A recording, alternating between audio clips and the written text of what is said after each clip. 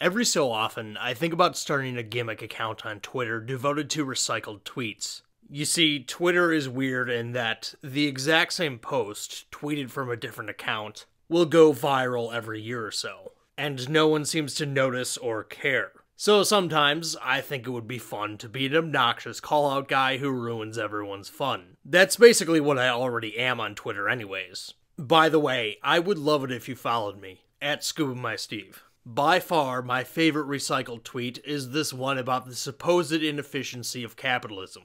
In case you're just listening, it's that meme that shows a plastic cup filled with pears that says, Pears grown in Argentina, packed in Thailand. And below is a world map showing just how far the fruit has traveled, from Argentina to Thailand to New York, where presumably the picture was taken. The person who tweets these pictures out usually includes some caption along the lines of capitalism bad.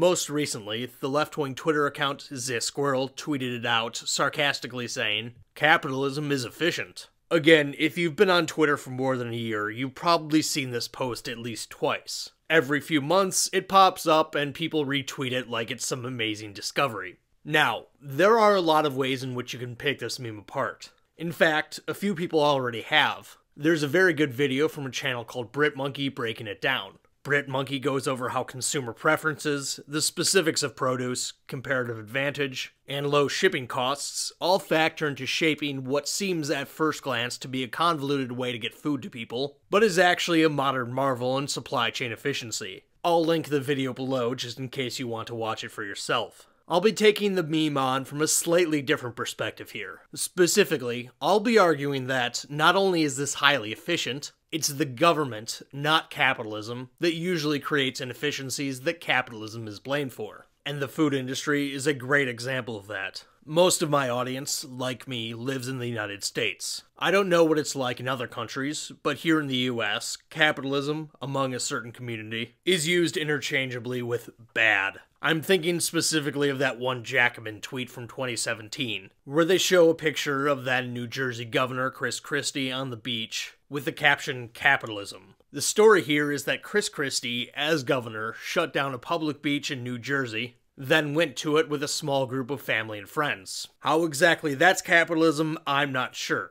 So, a lot of the capitalism bad discourse is either people being dishonest, or at the very least, genuinely misinformed as to what capitalism actually is. But there's also an institutional reason in the United States that helps explain why capitalism is so frequently blamed for things that are often the fault of the government. You see, outside of paying income taxes, driving, or getting your mail, your average American adult very rarely interacts directly with the government. And yet, governments, local, state, and federal, take lots of your money, have tons of rules, and employ lots of people. How can both of these things be true at the same time? Economist Bryan Caplan once contemplated this question in a blog post. How is this possible when the government regulates almost every aspect of American life and takes 40% of GDP? The government controls the labor market, especially for foreign workers. Government decides what products I can and can't buy. The government runs a massive retirement system that I can't escape without leaving the country. How can the government control me so thoroughly, yet so rarely boss me around?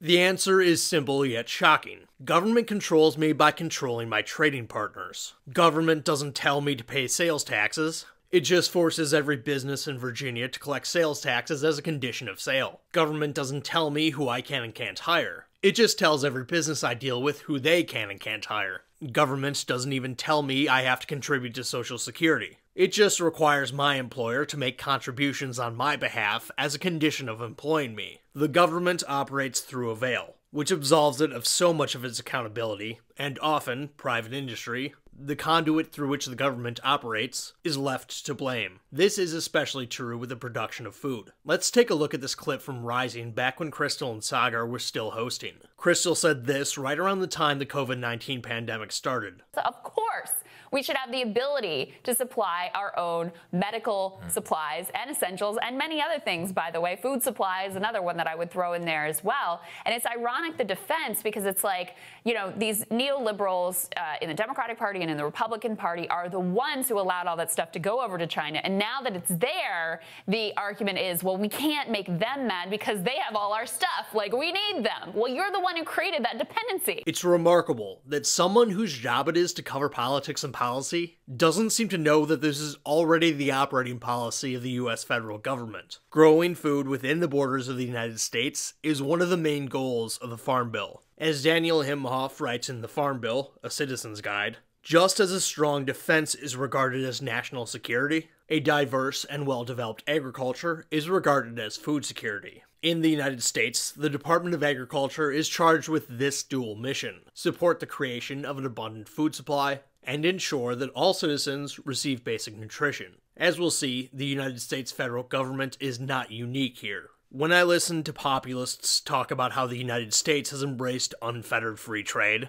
and that we operate according to the principles of free market fundamentalism, I get the awful impression that they've never looked into US agricultural policy. In a sense, it's a poster boy for autarky. As Robert Paarlberg writes in Food Politics, in resistance to globalization, most food around the world continues to be grown, harvested, processed, retailed, and consumed entirely within the borders of individual countries. 90% of processed foods are never traded, along with 79% of wheat and 93% of rice. This pattern persists despite the modern era of lower transportation costs, because most countries do not want to depend on other countries for their basic food supply. So they have set in place policies intended to preserve self sufficiency. National governments remain the dominant actors in food and farming. They are in a position to take this leading role because of the exclusive legal jurisdiction that they enjoy, as sovereign states, over farms and food markets within their own borders. I'm aware of the fact that some people look at this and think it's a good thing. To that I say, okay, but if you insist on criticizing capitalism, you're going to have to pick a different industry. Also, it's important to understand how exactly governments go about achieving these results. In the US, billions of dollars are spent every year by the federal government subsidizing farms. This number increased during the Trump administration due to his idiotic trade war with China. They also increased during COVID. It largely does not go to family farms either, but large, politically well connected operations. This usually goes by the euphemism of farm aid, but I prefer to call it what it is corporate welfare. These subsidies are in place to keep certain foods artificially cheap here, to prevent production from being undercut by cheaper imports. Other protectionist measures are also in place, such as tariffs and import restrictions, ostensibly to keep food production in place. Everything from corn to dairy to peanut butter has tariffs on it. The most notorious example of this in the United States is probably sugar. I've talked about the sugar industry on this channel before, and I've previously read this quotation from Florida Senator Marco Rubio justifying protectionism for that crop.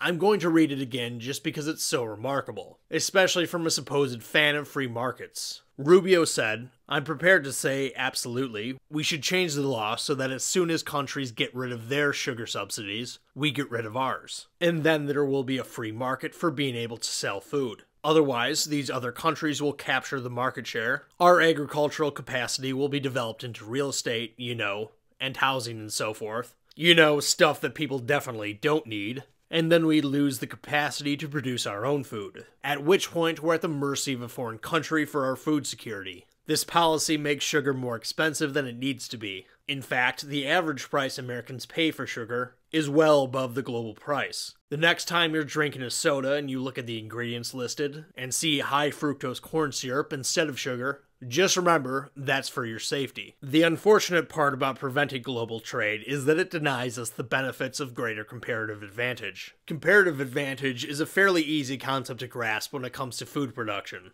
We could grow our own pears up here in Wisconsin year round if we built enough greenhouses. But it's way easier and way less expensive to buy them from areas of the planet that are warmer. Meanwhile, our fertile soil up here lends itself well to growing crops like corn and wheat. When everyone is doing what they're best at, the world produces more overall, and people have much more to exchange with one another. Furthermore, thanks to containerization and large shipping vessels, transportation by sea keeps costs very low. BritMonkey breaks down just how cheap it is to ship a container full of pears in his video. Pears are 178 grams, and each shipping container can hold up to 24,000 kilograms.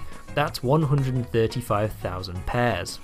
Shipping one container from Asia to North America costs about $2,500, or 1.8 cents per pear. And that's how it costs mere pennies for companies to lug vast amounts of food across the world, and how exotic fruit ends up on your dining table at any time of the year. Internationally, shipping by water is the cheapest way to get goods from point A to point B. It's also the least impactful in terms of greenhouse emissions. According to the Bureau of Transportation Statistics, the greenhouse gas emissions of freight transported on ships is considerably lower per ton shipped than shipping by truck, rail, pipeline, or air. Thanks to low shipping costs, we can have more variety in our diets while also being more efficient. This combination produces some surprising and impressive results. As Paarlberg writes, in the United Kingdom, lamb meat that travels 11,000 miles from New Zealand generates only one quarter of the carbon emissions per pound compared to British lamb because farmers in the United Kingdom raise their animals on feed, which must be produced using fossil fuels, rather than on clover pasture land. It's usually cheaper for the British to buy lamb from New Zealand as well, though not always, as prices include more than just transportation and energy costs. Unfortunately, we don't transport nearly as much product by ship as we could domestically, not because of evil, inefficient capitalism, but because of the government holding on to a Wilson era law known as the Jones Act. I've talked about the Jones Act before, but just to refresh your memory, the Jones Act requires that all goods transported by water between U.S. ports be carried on ships that have been constructed in the United States and fly the U.S. flag, are owned by U.S. citizens, and are crewed by U.S. citizens and U.S. permanent residents. This makes shipping within the United States domestically artificially more expensive. As Timothy Fitzgerald writes in his essay, The Environmental Case for Jones Act Reform, marine shipping is not competitive with alternative modes, with the natural advantages of marine transport likely undermined by higher operating expenses. Estimates of the higher operating costs vary from 13 to 170%. In 2018, the Organization for Economic Cooperating and Development rated U.S. maritime freight as 60% more restrictive than the average OECD country. The costs are even more stark when you take the environmental impact into account. As Fitzgerald writes, Including environmental costs would likely make water transport more attractive on net, because its external costs are small relative to alternative modes.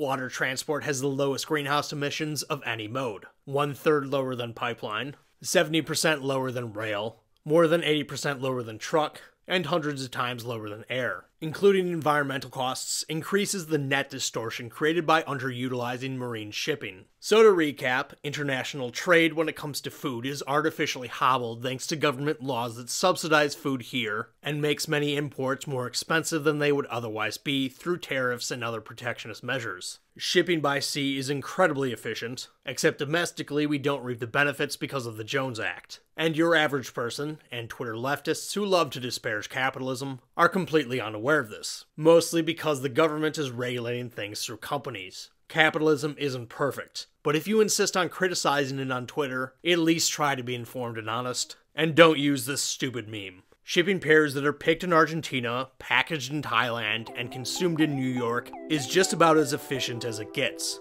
Dredging the Everglades to grow subsidized sugarcane to produce some of the most expensive sugar in the world is the inefficient way to do things.